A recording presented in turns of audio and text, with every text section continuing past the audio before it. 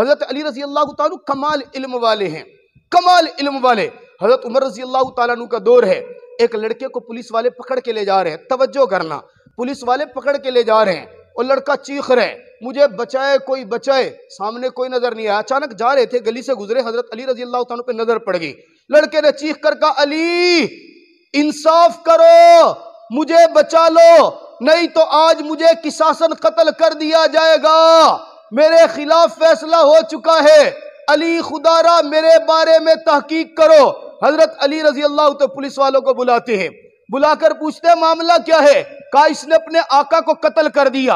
ये गुलाम है। इसने अपने आका को कत्ल किया है। इसको किसासन कत्ल किया जाएगा। तख्तेदार पर लटकाया जाएगा।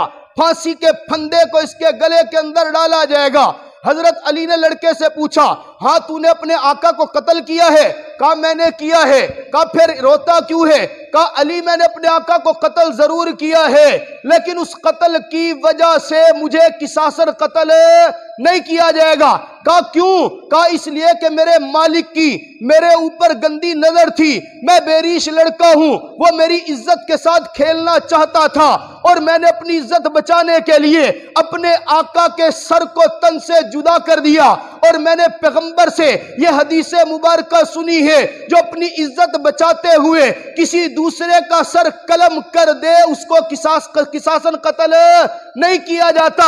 अली मानता हूँ मैंने अपने आका को कत्ल किया, लेकिन अपनी इज़्ज़त बचाने के लिए कत्ल किया। लेकिन ये मुझे किसासन कत्ल कर रहे तो इंसाफ कर मुझे कत्ल से बचा ले। हज़रत अली रज़ी अल्लाह रुकते हैं। दौर किसका है? हज़रत उमर फारूक रज़ी रोक लिया। सबर करो। उमर के पास पहुँच गए। उमर, क्या हुआ? इसके खिलाफ आपने फैसला दे दिया। जी, फैसला दिया। कहा, क्यों? का मामला वही है जो इसने तुझे बताया है। लेकिन शरीयत की बात है, ये दावा कर रहा है कि मेरे आका की मेरे ऊपर गंदी नज़र थी। हमने इससे गवाह पूछे। गवाह इसके पास है कोई नहीं।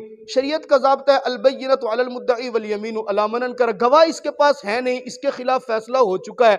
हज़रत अली फरमाते हैं, ज़रा इस केस की तफ्तीश मैं करता हूँ। मुझे मौका दिया जाए। हज़रत उमर फरमाते हैं, आपको मौका है, आप करें तफ्तीश।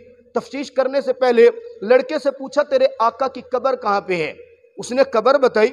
कब्रिस्तान के अंदर हज़रत अली रज़ी अल्लाह तु पहुँचते हैं। पुलिस वालों को साथ ले जाके कबर की कबर की खुदाई करवाते हैं। जब कबर की खुदाई करवाते हैं तो कबर के अंदर उसके मालिक की लाश नहीं होती। तवज्जो करना। अब कबर की खुदाई की कबर के अंदर मालिक की लाश नहीं है। हज़रत अली हज़रत उमर रज़ी अल्लाह से फरमाते हैं, उमर ये लड़का सच बोल रहा है, इसको आज़ाद कर दो किसासन कत्ल नहीं किया जा सकता। उमर पूछते अली, वजह क्या है? का इसलिए कि इसका दावा है कि इसके मालिक ने इसके ऊपर गंदी नज़र रखी, इसने इज़्ज़त बचाने के लिए कत्ल किया। और अब काबा की कसम, मैंने अपने पैगंबर की ज़ुबान मुबारक से सुना है।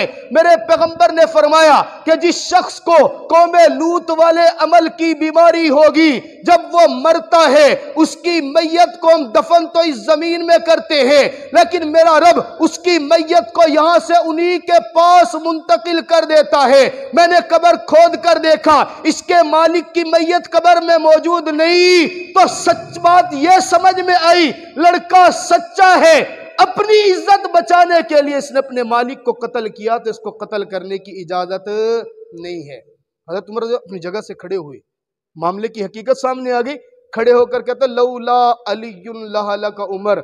और लोगो, आज अगर अली न होता तो गलत फैसले की बुनियाद पर उमर हलाक हो जाता।